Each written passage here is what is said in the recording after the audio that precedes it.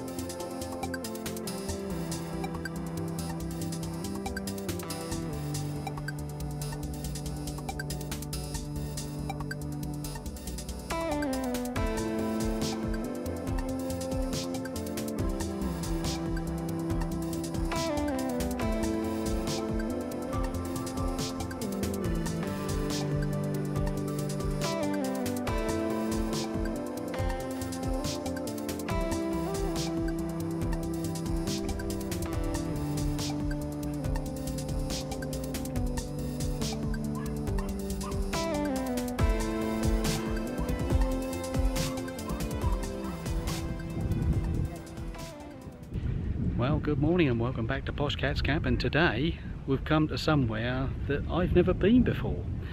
And uh, we're still under lockdown. We're on a day trip, and it's Mersea Island, uh, which is just through Colchester in Essex. Colchester is uh, registered as the oldest town in England.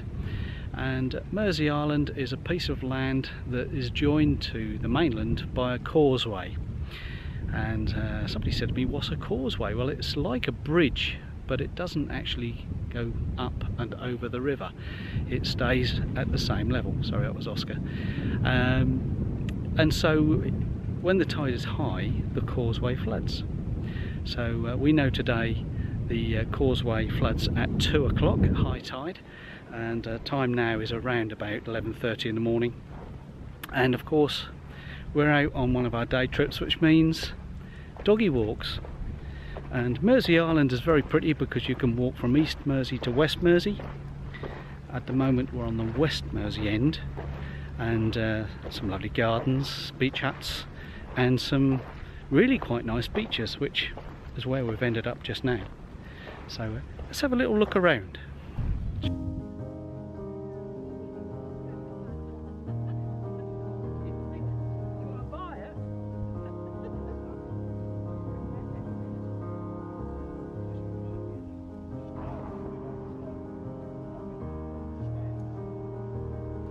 Morning, Joe.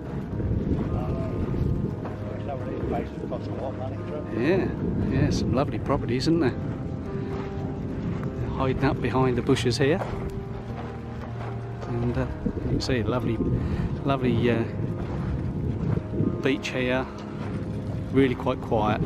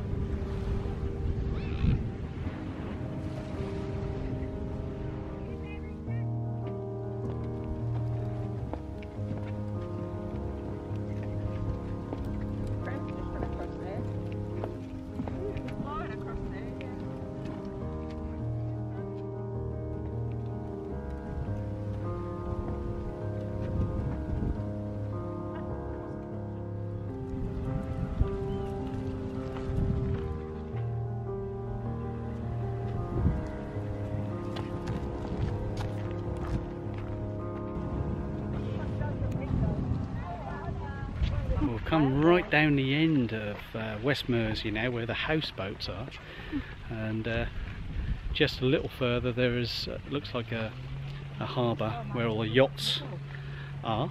So uh, quite interesting down here. Um, there are one or two fishing huts I'm told as well where the fishermen come in and land their catch and uh, I'm going to go see if we can find that just a little further up.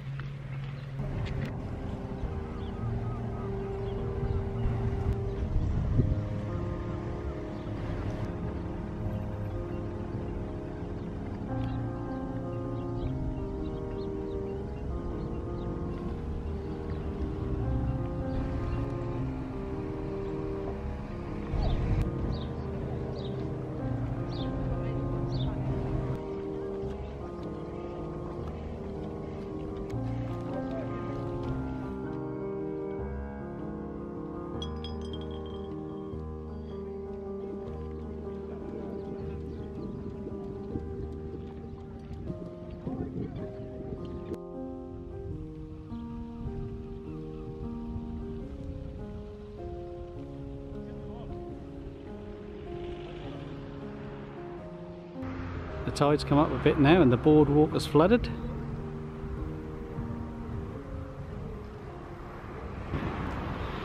Well, we're going for another little walk this way now. We've um, just had a spot of, um, well, afternoon tea really. Um, tide is still pretty high and there's windsurfers out there. I'm walking across the gardens here now with uh, a dog pulling on my arm. Going to get uh, the, make the most of this sunshine. We've parked uh, on the Victoria car park, like I said, it's £5 for the day. Um, but you do have to be off the car park before 8pm when the gate is locked. Uh, so there's no overnight camping or anything of that nature. Let's catch up with the others I've got ahead of me.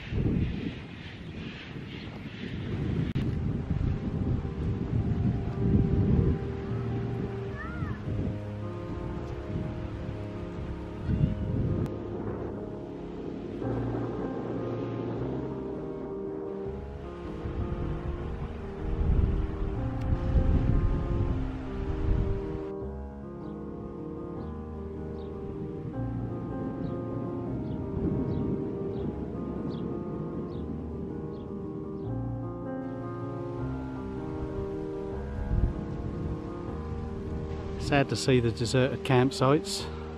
Certainly at the end of June these places should be full and busy.